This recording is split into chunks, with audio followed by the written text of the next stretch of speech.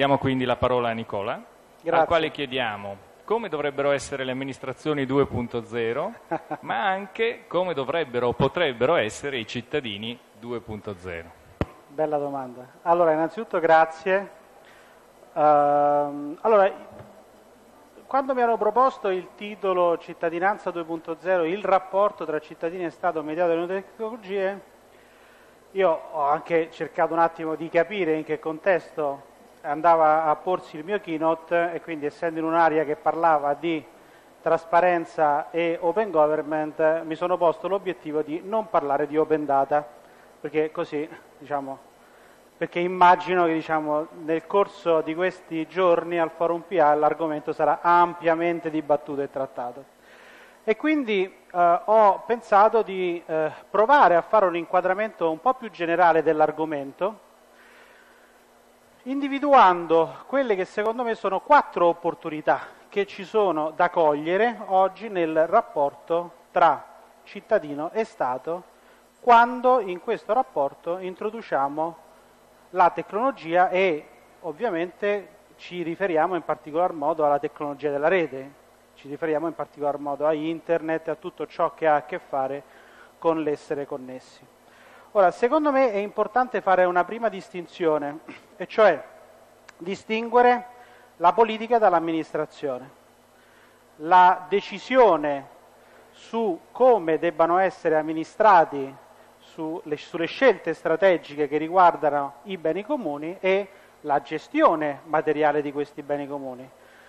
Uh, ovviamente non vi dico nulla, nulla, di nuovo se fate questo di mestiere. Quando noi parliamo di politica, secondo me, le opportunità che ci sono da cogliere sono essenzialmente due e riguardano la formazione dell'opinione pubblica, da un lato, e la possibilità di introdurre in modo diffuso processi deliberativi.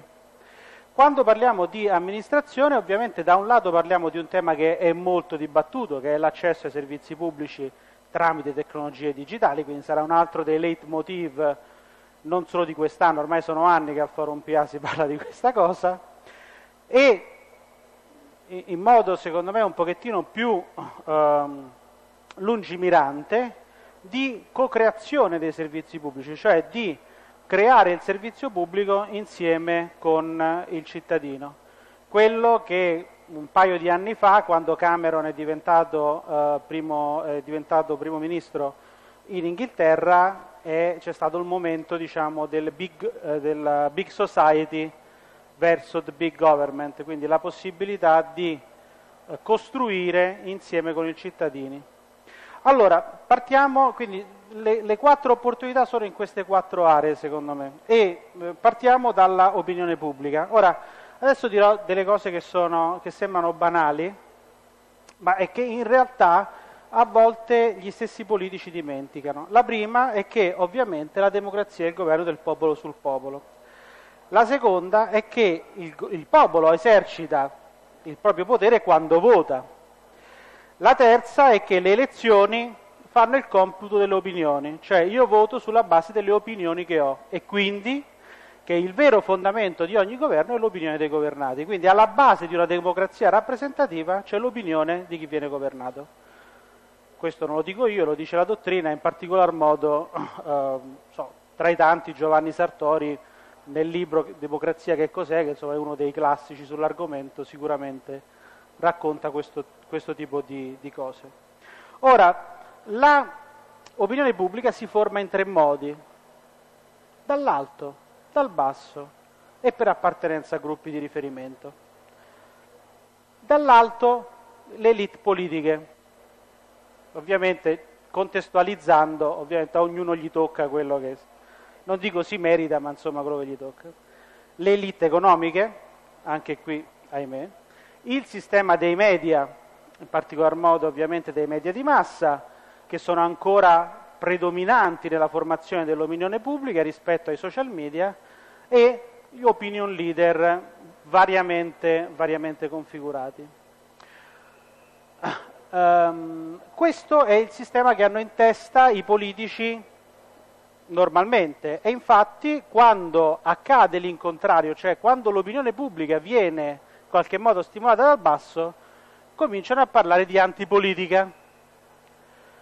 E quindi, scusate, di antipolitica, quindi il, bubble, il bubbling up, il venire, il, il, la pancia, quella che viene chiamata la pancia, no? in modo anche un po' dispregiativo, cioè quindi questo senso di malessere che è politica, è fortemente politica, a me non piace Grillo, però Grillo come il popolo viola, come gli indignati, come tutti questi movimenti in qualche modo di protesta, interpretano un bisogno delle persone ed esprimono delle opinioni. Poi si può dire che queste opinioni sono grezze esattamente quanto le opinioni eh, diciamo, di chi vota per un partito politico eh, tradizionale, però anche questa è politica. Poi ovviamente c'è, importantissima, soprattutto in un paese come l'Italia che ha una forte dominanza cattolica, eh, l'appartenenza politica e l'appartenenza a gruppi, no? la, la, un sistema di valori che nasce dall'appartenenza a gruppi. Perché vi faccio questa lezioncina, vi ho diciamo, ripetuto questa lezioncina? Perché per quanto banale, questa lezioncina è strano, ma viene in qualche modo dimenticata quando si parla di coinvolgere le persone nei processi decisionali.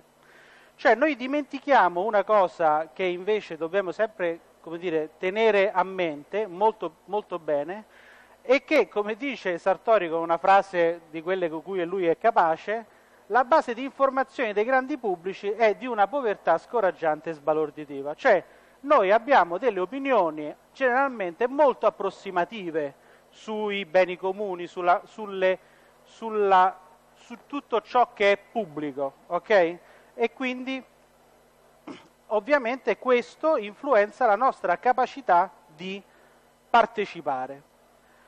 Perché abbiamo un'opinione, abbiamo delle opinioni, abbiamo delle informazioni rozze e abbiamo delle opinioni grezze, per un motivo molto semplice, e cioè che imparare a informarsi è costoso, non in termini di soldi che devi investire per imparare a informarti, ma di tempo che devi impiegare, di fatica che devi fare, del fatto che c'è una soglia minima che devi raggiungere affinché le conoscenze che tu hai accumulato diventano produttive e ti permettono di fare qualcosa. Quindi non è la questione come dire, e poi c'è un trade-off, se imparo una cosa non ne posso imparare un'altra, perché la quantità, diciamo, noi siamo purtroppo del, del, o per fortuna, insomma, degli, dei, dei, dei, degli esseri finiti con una certa capacità di assorbire informazioni, una capac- certa capacità di elaborazione di informazioni e dati. Allora ci dobbiamo chiedere come la tecnologia possa aiutarci a superare questo limite intrinseco, cioè come possa aiutarci a imparare di più sul funzionamento dello Stato, imparare di più sul funzionamento della gestione dei beni comuni in modo da poter partecipare con maggiore efficacia, poter prendere delle decisioni più informate, quindi votare con maggiore consapevolezza e poi in una fase diciamo, più avanzata anche partecipare a processi deliberativi con cognizione di causa. Ci sono degli esempi interessanti, perché questo non è un problema che riguarda solamente il rapporto tra Stato e cittadini, è un problema generale, cioè noi in una società della conoscenza abbiamo bisogno di apprendere sempre di più e abbiamo bisogno di apprendere una quantità di cose in campi diversi in modo molto veloce e molto efficiente. Ci sono due esempi che io vorrei citarvi per quanto riguarda dire, l'apprendimento in aree che non attengono direttamente al rapporto tra cittadino e Stato. Uno è la Khan Academy. La Khan Academy è una uh, cosa molto interessante. C'è questo signore, questo signor Khan, che era un analista finanziario, che spiega, eh, eh, pakistano, che spiegava via telefono a uh, un suo cugino, al cuginetto, uh, gli spiegava la matematica. A un certo punto il cuginetto si incagliava, su, cioè non riusciva a capire alcune cose. Quindi che cosa ha fatto Canna? Ha, regist- ha registrato un video della lezione, l'ha messo su YouTube e lui, senza pensarci, l'ha messo pubblico su YouTube. E questa cosa è diventata una roba di enorme successo, cioè ci sono oggi, la Khan Academy ha, uh, distribuito qualcosa come 1.400.000 lezioni, qualcosa di questo genere, e ha 3.500 video didattici che coprono oggi più o meno tutto quanto quello che riguarda la, la, le materie della scuola primaria fondamentalmente, ma anche il come funziona lo Stato americano, come funziona il processo elettorale americano che ovviamente è molto complicato soprattutto per le elezioni del Presidente degli Stati Uniti. Quindi il primo aspetto è che ci sono forme che abbassano la barriera di accesso all'informazione come può essere banalmente un video su internet, sembra sciocco, o comunque diciamo un processo che fa fortemente um, um, uh, affidamento su una formazione online che quindi può essere uh, usufruita dalle persone in modo autonomo, secondo le proprie disponibilità di tempo e via di seguito. E questo è un esempio di grande successo, oggi che viene adottato all'interno di alcune scuole, perché alcuni maestri nella scuola americana stanno facendo il, un processo per cui fan, hanno invertito, fanno la lezione in video agli studenti a casa, ognuno se la guarda sul proprio computer, e in classe si fa il laboratorio, quindi si fa la parte interattiva, che ha senso perché? Perché se non ho capito questa me la guardo dieci volte rom- e non ho il problema della pressione sociale nei confronti degli altri studenti che mi dicono sei stupido e via di seguito. In, uh, in, in classe faccio la cosa più, più, viva, faccio la cosa che poi molti studenti fanno a casa quando si incontrano e studiano insieme, comunque.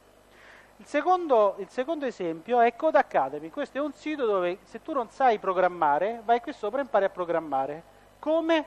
con dei meccanismi di gioco. Loro hanno introdotto meccaniche di gioco nell'apprendimento della programmazione. C'è una sfida, parlare con le macchine è importante, perché le macchine saranno sempre più presenti nella nostra vita. Imparare a programmare dovrebbe essere uno skill, secondo me, che ha senso eh, trasferire agli studenti già nella scuola elementare. Come faccio io a rendere questa attività piacevole? metto dei premi, faccio in modo che l'attività sia fatta insieme con gli altri, ti do delle sfide, ti permetto di far vedere agli altri quanto sei diventato bravo e compagnia bella. Quindi introduco le classiche meccaniche di gioco, i livelli, i premi, i riconoscimenti, le sfide e via di seguito, all'interno di un processo didattico, cose che si fanno anche nel mondo reale, non necessariamente nel mondo dei bit. Quindi la prima opportunità nel rapporto tra tecnologia e il rapporto tra Stato e cittadino eh, mediato dalla tecnologia, dalla tecnologia di Internet, è la possibilità, l'aumentare la possibilità di apprendere, di far apprendere al cittadino come funziona lo Stato, perché questo gli permette di avere maggiore conoscenza, opinioni più consapevoli, migliore capacità di scegliere i rappresentanti giusti, cioè in una democrazia rappresentativa di avere le persone giuste che prendono le decisioni eh, corrette nella gestione della cosa pubblica, ma anche l'opportunità di partecipare direttamente alla risoluzione dei problemi. E qui entriamo nella seconda area, cioè quella dei processi deliberativi. Ora, è un dato di fatto che il nostro mondo sta diventando così complesso che è è improbabile immaginare che la politica riesca a risolvere da solo i problemi. Anche quelli che si ritengono molto intelligenti, da soli non ce la possono fare. Ora, non è un caso che eh, ci siano sempre più frequenti processi di consultazione, processi di coinvolgimento, attività in crowdsourcing e via di seguito. Questo governo sta per esempio facendo anche degli sforzi, insomma, rispetto a quelli che lo hanno preceduto sicuramente encomiabili no? tra consultazioni. Eh, io eh, in particolar modo sto partecipando alle consultazioni che riguardano il mondo delle start-up, che è una, un'area io, eh, di cui io mi sto interessando molto. Come faccio a facilitare la partecipazione? Allora, ancora una volta, il gioco. Il gioco è una delle cose più coinvolgenti per le persone le meccaniche di gioco sono fatte per coinvolgere. Questo è un esempio cartaceo, ma esiste anche la versione digitale di questa, di questa meccanica, Cioè alla uh, città di San José il problema era ri- ridurre il budget, che è uno dei problemi che tanto hanno tutte le, sicuramente tutti i comuni anche in Italia, ridurre il budget. Come faccio a ridurre il budget? Costruisco un gioco da tavolo che possono utilizzare i cittadini che mi aiuta a prioritizzare, a costruire una priorità di cose desiderabili per i cittadini. Non glielo faccio fare con un processo deliberativo in cui tutti si mettono in una sala, poi facciamo tutta la descrizione, bla bla bla, c'è una roba pallosa, glielo faccio fare con un gioco tipo Monopoli. Alla fine di questo, di questo giro qui, alla, c'è tutto un meccanismo, tutto un sistema di contrattazione, ottengo una lista di priorità, per cui esce fuori che eh, è preferibile mettere i soldi nella uh, manutenzione stradale e togliere qualcuno dal fire department, quindi dal, dal, dai pompieri, che possiamo fare a meno del, uh, dei, uh, degli elicotteri per spegnere il fuoco e via di seguito.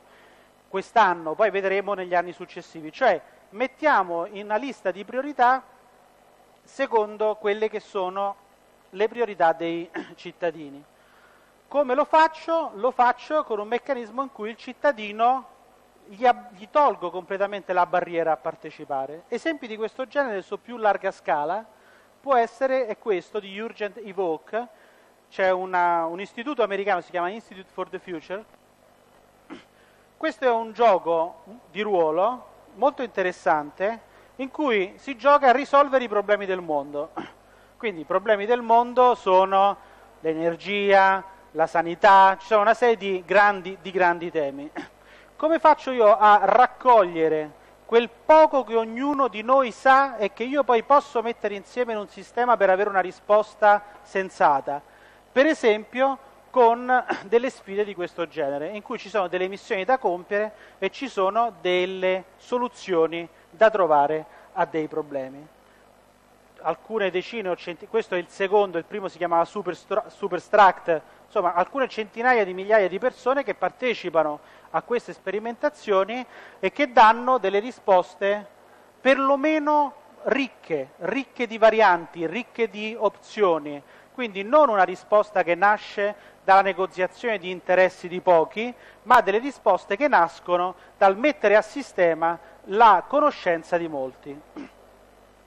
E c'è un mondo da andare ad esplorare se voi pensate solamente alla quantità di tempo che le persone spendono giocando online, non è, un, non è male, eh? e, beh, il gioco, il gioco fondamentalmente significa risolvere problemi, significa risolvere problemi, allena la capacità di risolvere problemi. I forti di giocatori di World of Warcraft sono persone che generalmente riescono a risolvere problemi più velocemente e più efficacemente di chi non ha mai giocato a un videogioco.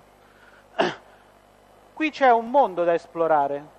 Se noi pensiamo che un gioco come questo, che attira milioni di persone a giocare contemporaneamente, Cityville, Farmville, qualsiasi cosa vil della zinga, ha decine di milioni di giocatori, noi possiamo costruirlo in modo tale che questo gioco ci aiuti a recuperare informazioni, a recuperare risposte, a far partecipare i cittadini come se fosse un grande gioco di simulazione. Questa simulazione ci può fornire informazioni su dove andare.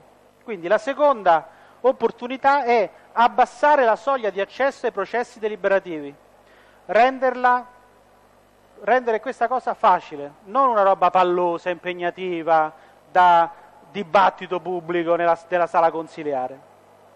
L'accesso ai servizi pubblici.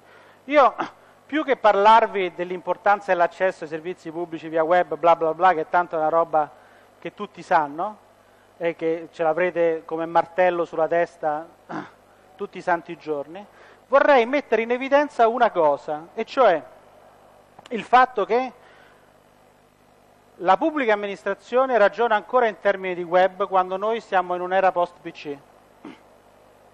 Cioè, si ragiona ancora nel fare i siti web della pubblica amministrazione, quando la gente sta abbandonando il PC e usa la rete da mobile, da telefonino, da tablet, dal media center attaccato alla televisione, dalla console di gioco. Ci sono più console di gioco che computer nelle case delle persone. Il web non è questo, il web è tutto questo. Quindi Qui c'è un'area problematica enorme e cioè che mentre voi pensate a come rendere compatibile il vostro sito con la legge stanca, che è una legge pessima dal mio punto di vista, per come è strutturata, perlomeno le mie poche esperienze che ho avuto nel fare cose nell'ambito della pubblica amministrazione quando c'era il problema dell'accessibilità diventava una sorta di totem eh, su cui si poteva fare tutto sostanzialmente, cioè, giustificava qualsiasi nefandezza. Ora, questa cosa è importante perché allora, la gente si sta spostando qui, la pubblica amministrazione continua a fare questi, anzi, secondo me continua a ragionare come se ci avesse ancora il monitor, eh, no quello a cristalli liquidi, quello. Ma, i fornitori della pubblica amministrazione, ok? Tutti questi signori che sono qui dentro con gli stand oggi, ok? Ora, purtroppo è un dato di fatto, non sto dicendo, non voglio, non voglio sparare, non voglio parlare male, però è un dato di fatto, i siti della pubblica amministrazione sono ampiamente insufficienti, ampiamente inadeguati. I fornitori che fanno le interfacce verso i cittadini sono dei system integrator, sono bravi a fare i sistemi, non ne sanno nulla di come si fa un sito, nulla, inventano, inventano totalmente. Però secondo me qui c'è una grande opportunità, e cioè noi oggi andiamo verso il cloud computing, quindi oggi noi avremo una grandissima attenzione nel trasformare l'IT nella pubblica amministrazione in cloud. Adesso un'altra grande parola chiave insieme a smart city, sono le due cose su cui, come dire, che, che la bavetta alla bocca, già li vedo tutti con la bavetta alla bocca, dobbiamo fare tutto il cloud, dobbiamo fare tutto smart, adesso tutti i servizi sono diventati smart, tutto ciò che viene venduto ad un comune è smart qualcosa.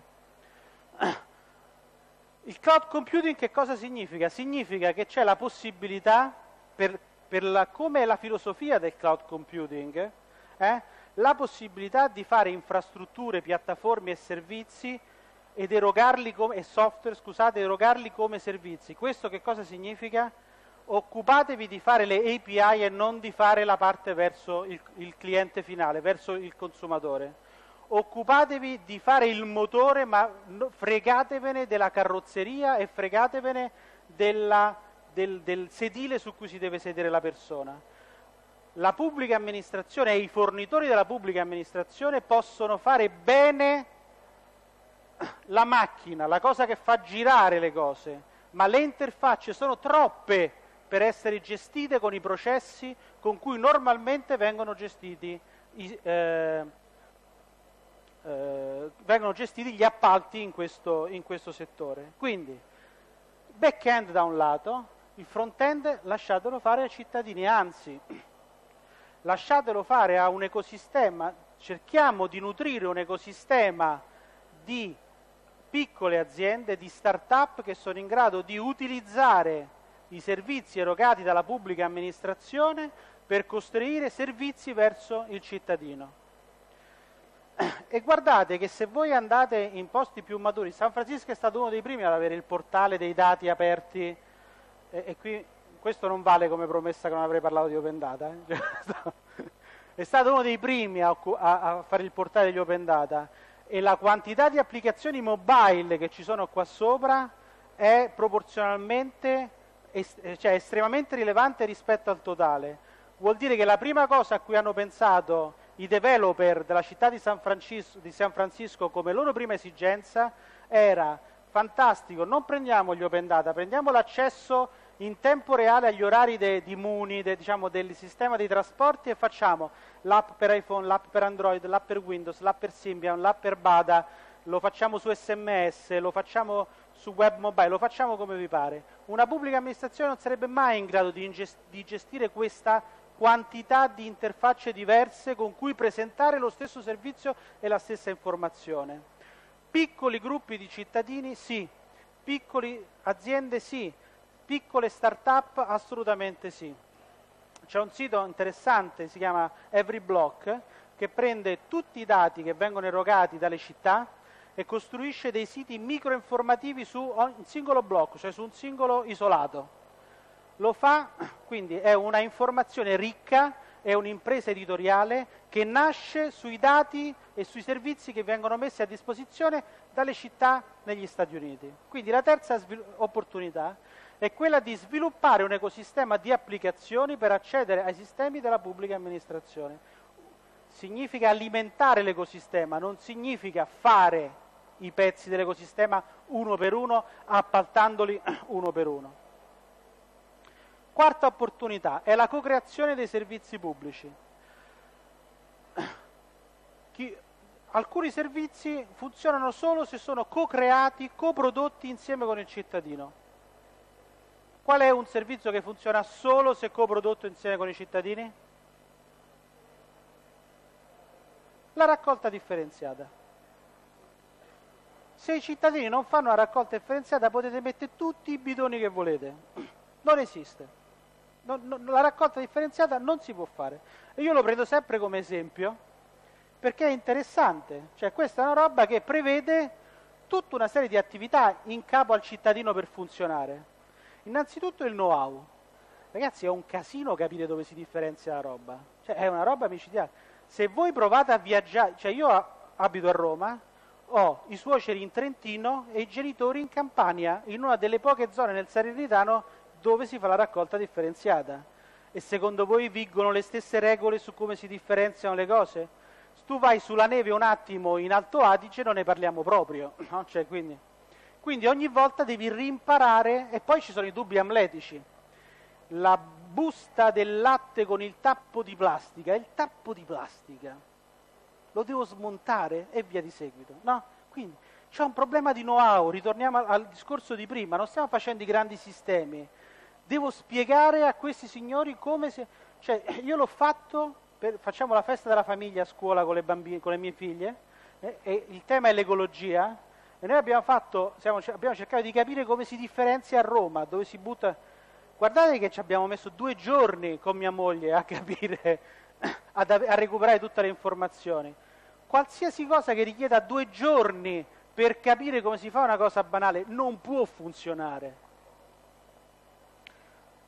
E poi ci sono questi esempi molto divertenti, molto carini. Questo è Recycle Bank.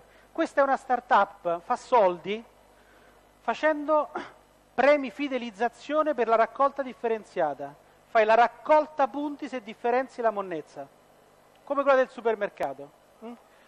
Questa non è una ONG, non è una COP, non è una cosa senza fini di lucro, questa è una società con fini di lucro che ha l'obiettivo di quotarsi in borsa perché quotarsi in borsa è l'unico modo per essere rilevante.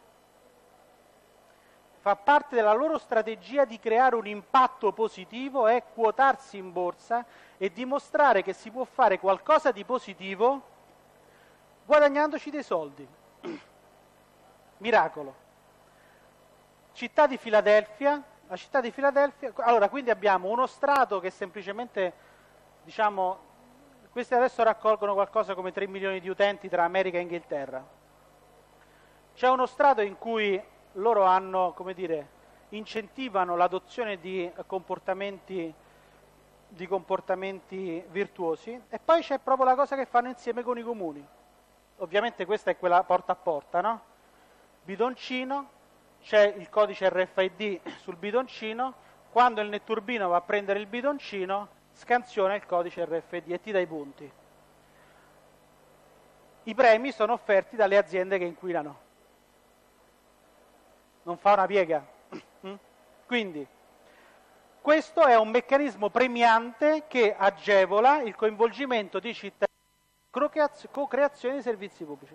Noi andremo sempre di più verso la co-creazione dei servizi pubblici, su questo non ci, non ci sono dubbi, perché non ci possiamo permettere uno Stato che non collabora insieme con il cittadino, non ce lo possiamo più permettere. Da mo' che non ce lo possiamo più permettere, da parecchio tempo. Che non... Al netto dei 60, 70, 80 miliardi di corruzione ogni anno, al netto di tutti gli sprechi, bla bla bla, eccetera, comunque non siamo in un contesto in cui, per una serie di motivi, ci possiamo permettere uno Stato che, come dire, non lavora, non è come dire, in cui il cittadino non è più partecipe delle cose dello Stato, ok? Forse sarà utopico, però secondo me è così. Ora, in tutti gli esempi che abbiamo visto, quindi quattro aree di opportunità da cogliere, ci sono tre tendenze che abbiamo individuato. La prima tendenza, crowdsourcing, quella che nel mondo della rete, nel mondo web si chiama crowdsourcing, l'intelligenza collettiva, cioè costruire dei meccanismi che mi permettono di far fare alle persone delle cose piccole ma significative e premiarli per quelle cose piccole che fanno.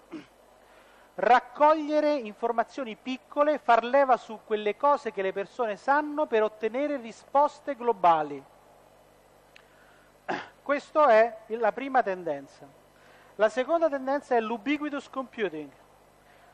Se noi vogliamo fare accorciare la distanza che c'è tra cittadino e Stato e tra cittadino e politica, quindi tra cittadino ed amministrazione e tra cittadino e politica, dobbiamo entrare nella tasca del cittadino questa volta non per tirargli fuori l'ennesima addizionale, ma per fare in modo che quello che noi abbiamo da dargli sta dentro al device che lui usa tutti i giorni e che in questo momento è in carica.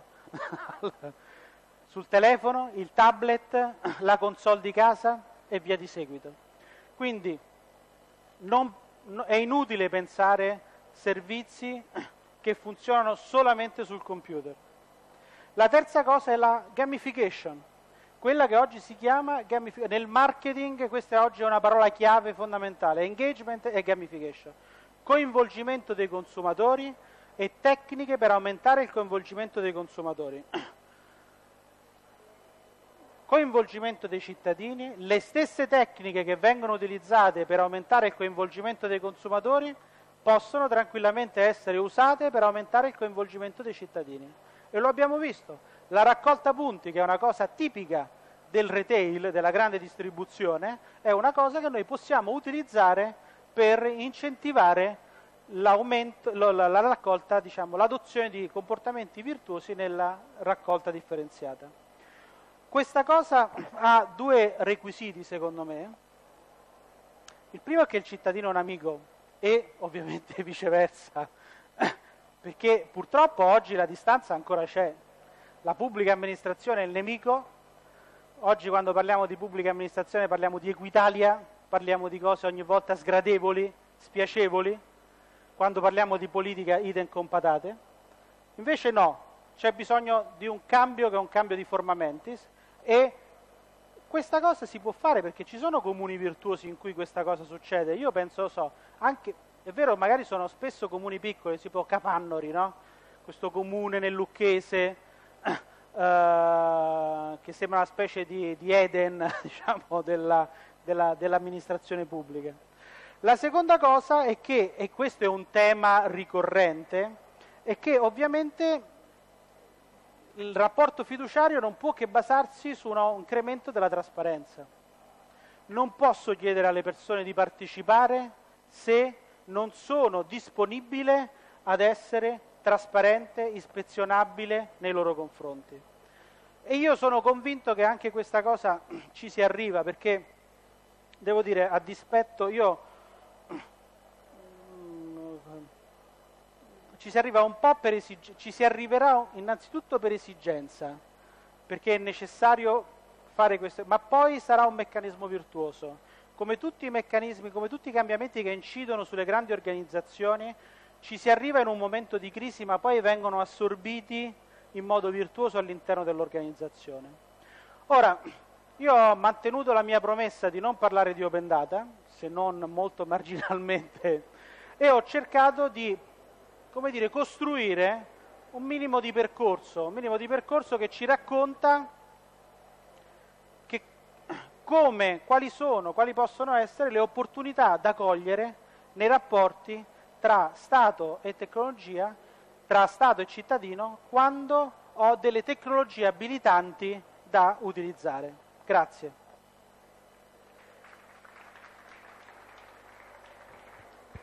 Grazie Nicola, soprattutto anche per la puntualità rispetto dei tempi. Ora eh, lasciamo la parola alle domande in sala.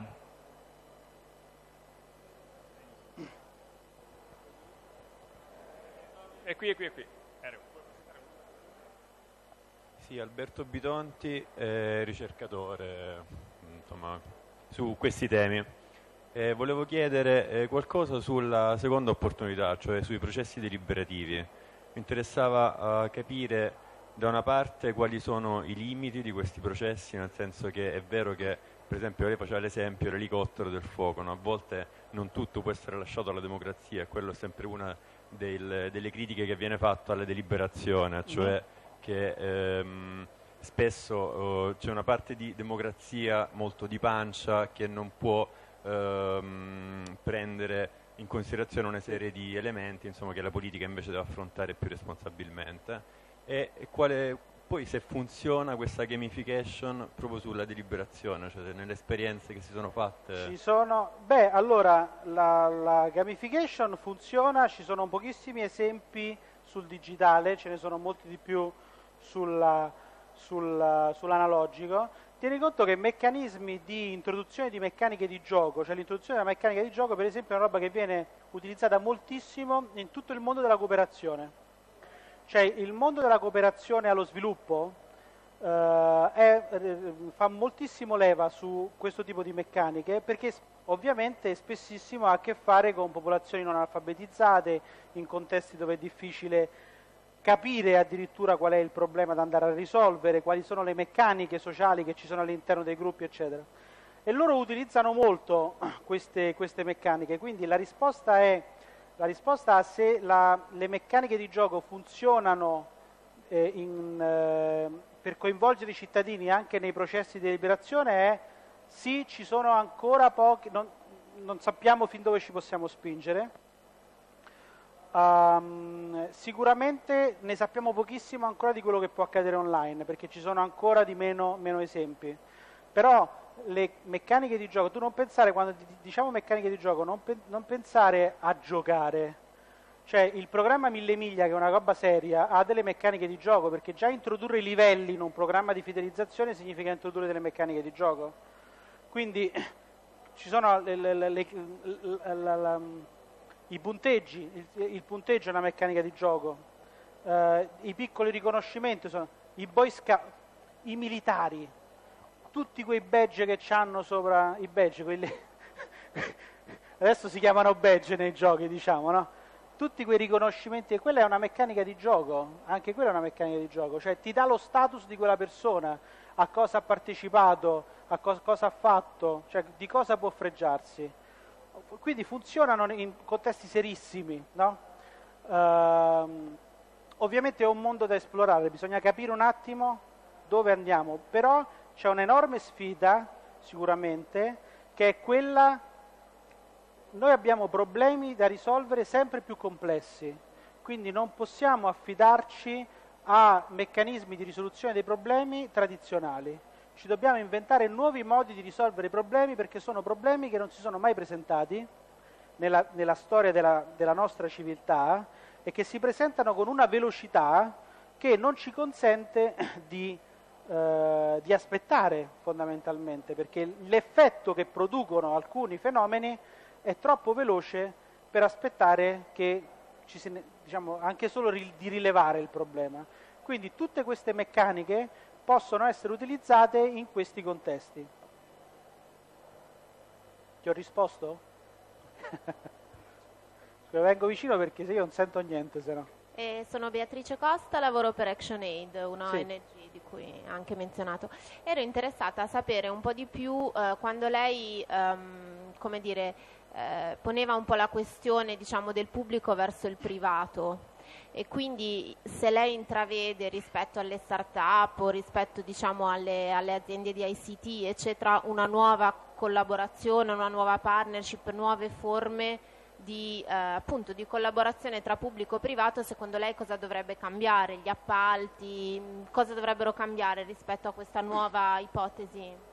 Allora, io lo auspico per due motivi. Le start-up, allora, qui entriamo in un, in un, in un argomento diciamo, molto ampio. Allora, due cose sulle start-up velocemente. Le start-up, quindi le nuove aziende, sono l'unico modo per creare occupazione, quindi hanno un ruolo fondamentale nella, eh, hanno un ruolo fondamentale nell'economia di un qualsiasi paese. Sono il modo con cui si creano nuovi posti di lavoro. Se tutti i settori tradizionali perdono posti di lavoro, gli unici modi in cui si creano posti di lavoro sono le nuove aziende.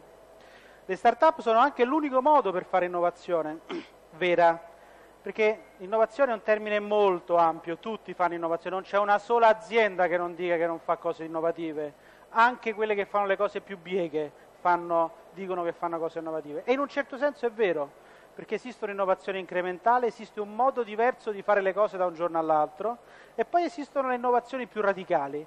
Le innovazioni radicali non vengono mai prodotte dalle istituzioni, vengono prodotte dai soggetti nuovi, da quei soggetti che entrano. Quindi il ruolo delle start-up nel, nel, nel, rapporto con la pubblica amministrazione è quella di produrre l'innovazione nella pubblica amministrazione che la pubblica amministrazione da sola non può produrre e che non gli possono produrre neanche i vendor che gli danno tecnologia adesso, perché le IBM, IMSI Square, eh, Vodafone, Telecom, quello che volete, tanto qui c'è una rappresentanza più o meno di tutto, eh, non sono aziende che producono innovazione disruptive, che fanno cose nuove, sono aziende che devono ripetere, che devono fatturare, che hanno un modello di business e lo devono far crescere. Introdurre innovazione per queste aziende è sempre pericoloso, innovazione che cambia il modello di business. Possono introdurre un'innovazione di prodotto, una cosa che ieri ti vendevo come, eh, oggi te la vendo come Smart Cities, ieri si chiamava, non mi ricordo qual era la parola chiave, diciamo, di due anni fa diciamo, sull'argomento pubblica amministrazione cittadina, Digit PA, che ne so, so qualcosa di questo genere. Ma fondamentalmente se vai poi a guardare dentro non stiamo parlando di cambi di paradigma, ok? Quindi la, il rapporto tra pubblico e privato serve a questo, serve a, innanzitutto lo Stato ha una enorme quantità di informazioni e produce un'enorme quantità di ricchezza tappata dentro eh, irraggiungibile. Quindi questa ricchezza va aperta e questo è quello che dicono tutti quelli che si occupano di open, di open data. A questo punto che cosa ci faccio con questa ricchezza? I soggetti migliori, secondo me, per utilizzare questa ricchezza e per valorizzarla e per farla crescere sono le start-up, sono le aziende innovative, sono le piccole imprese, sono anche i singoli cittadini, perché per un singolo cittadino può aver senso fare il servizio per Symbian, modello vecchio che utilizzeranno mille persone in una città. Ha un senso perché serve a lui, risolve un problema, lo fa sentire figo all'interno della sua comunità di appartenenza. Per una pubblica amministrazione, un sistema integrator no, perché quanti soldi ci vuoi mettere là sopra per fare quel servizio che serve solo mille persone? Però è alimentando questo ecosistema di piccole iniziative che cresce l'innovazione. Ti faccio un'ultimissima cosa, poi quanto tempo abbiamo ancora? Ok, un'ultimissima cosa. Uh, nella Silicon Valley oggi ci sono delle strutture, gli acceleratori, che incubano, nulla di nuovo, eh, cioè per carità, gli acceleratori c'erano anche durante la mia economia, ma insomma, che incubano in modo sistematico batterie di aziende, le allevano come se fossero gli allevamenti, allevamenti proprio. Quindi non è che se ne fanno 10, 20, no, se ne fanno 500, 600, 700. Hm? Perché? Non è solamente un problema di fare le start-up per farle diventare aziende, perché in questo modo io finanzio innovazione. Lì dentro non ci sono solo aziende, ci sono anche prodotti che possono essere acquisiti, quindi iniziative che non avranno mai la dignità di azienda, ma che possono essere interessanti per Google, Facebook e compagnia bella per produrre innovazione. E sono le grandi aziende che dicono noi al nostro interno non riusciamo a fare questo tipo di innovazione, è meglio che mettiamo i soldi in questo magma, in questa dire, cosa che ribollisce, perché ogni tanto esce fuori qualcosa di estremamente interessante e ci costa di meno farlo così che non provare a farlo dentro casa.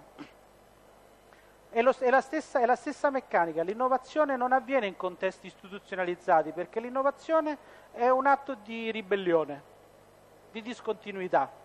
E cosa c'è di più continuo di un'istituzione? Nulla. Grazie a Nicola Mattina, grazie a tutti i presenti, vi salutiamo, gli appuntamenti continuano, già eh, fra dieci minuti comincia il prossimo keynote, chi vuole rimanere è benvenuto, altrimenti alla prossima occasione. Grazie.